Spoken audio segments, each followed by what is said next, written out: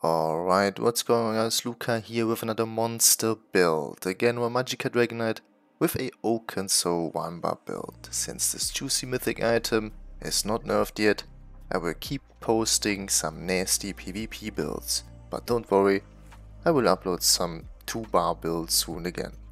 But let's talk about this build first. It's based on our ultimate, Corrosive Armor. What exactly does Corrosive? It gives max penetration on each target on direct damage, so it empowers Molten Whip or Spammable. This thing hits between 8 to 15k plus with Corrosive up. It also empowers every light and heavy attack and initial dot hits like Engulfing Flames, which are used to empower Whip for another 6%. It also limits our incoming damage by 3% of our max health. We are around at 30k HP by the way, Let's say you would get hit by an incap for 10k plus. With corrosive up, it would only hit you for around 900 damage. It's by far the strongest PvP ultimate in this game. No surprise that this thing is mostly banned from the most dueling tourneys. I basically used every heroism resource, like major heroism, which we get from the Oaken Soul Ring, and minor heroism through the heroism potions, even if they're super expensive, but definitely worth it for this build. Combined with the set Akaviri Dragon Guard, which reduces the ulti cost by 15%, plus Potentates for another 15% ulti cost reduction. On top, with Bloodspawn as monster set for extra ulti regen. My corrosive armor uptime is around 80 to sometimes even perma up, so 100%. Depends on how many targets I kill this time. It's just ridiculous. Closer look on the build. I'm on 5 heavy and 2 medium. 5 impen. 1 well fitted and 1 sturdy. Full prismatic glyphs like always.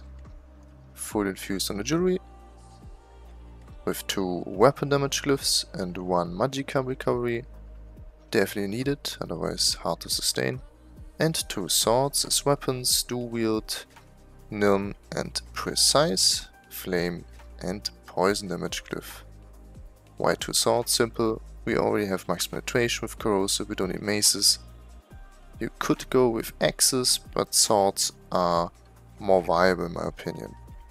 Quick look on the skills, engulfing flames, for the 6% extra flame damage to empower Molten Whip. But you can also go with something else, like Flames of Oblivion, Burning Embers or Venomous Claw. Then Race Against Time, our snare removable, and for minor force, another 10% extra crit damage, and Major Expedition, the most important skill in my opinion for this build. Since we don't have a back bar, we need something to, uh, to be able to kite around against multiple targets, even with corrosive armor. Not viable if you just there against 5, 6 targets. Then Molten Whip or Spammable, Shattering Rocks, SCC, Undodgeable, Unblockable, Super Powerful, and then Coagulating Blood, our Burst here, and Corrosive Armor as Ultimate. Razor Dunmer, for extra weapon spell damage and Magicka stamina. Best race would be probably Imperial for another cost reduction, but Dunmer works fine too. Mundus the Atronach for extra Magicka recovery and Clockwork Citrus for more Magicka recovery. I've tested the Twisted Food Sugar Scouts and also the Volumundus, but then you will be instant out of sustain, so definitely needed the Atro and the Clockwork Citrus Fillet and the Magicka Regen Glyph. Attribute points 49 in Magicka and 15 in health. Potions, like I said before, mainly the heroism potions. If you don't have enough gold, just go with the normal tricep potions. CPs, Deadly Aim, Master-at-Arms, Ironclad and Duelist's Rebuff, Sustained by Suffering, Pain's Refuge, Celerity and Slippery.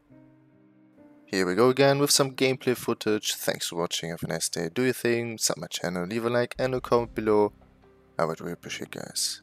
Like always, I wish you a fantastic day and I see you hopefully in the next video. Peace.